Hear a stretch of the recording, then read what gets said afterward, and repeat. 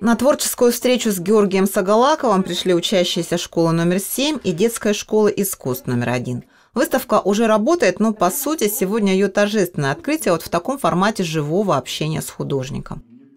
Георгий Николаевич, мне хочется вам выразить признательность и благодарность за то, что вы всегда нас поддерживаете и, я надеюсь, с удовольствием откликаетесь на наши различные проекты.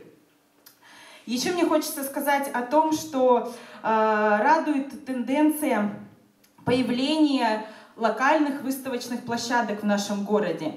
И это важно не только для культуры города в целом, но особенно важно для культуры района, да, в котором появляется такая выставочная площадка.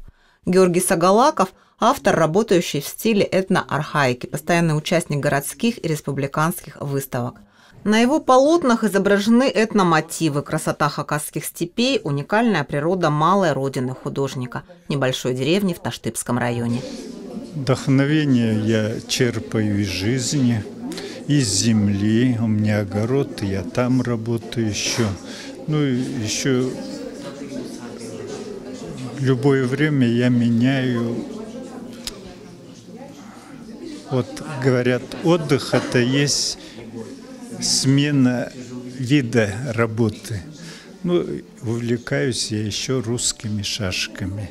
Свободное время мы встречаемся и играем или ездим на турниры. Совсем недавно Георгий Николаевич прекратил свою преподавательскую деятельность. До нынешнего года работал педагогом детской художественной школы имени Каратанова. Но творчество остается большой частью его жизни. Наравне с живописью, как искусство, он ценит и музыку. Она считает способна дополнить полотна художника, придать им еще больший смысл.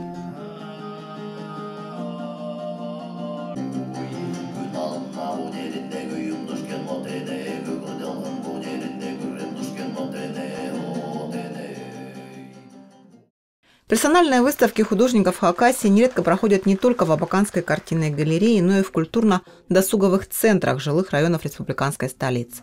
Так искусство становится ближе – Экспозиция Георгия Сагалакова под названием «Сквозь века и тысячелетия» в КДЦ «Заречье» будет представлена до конца сентября.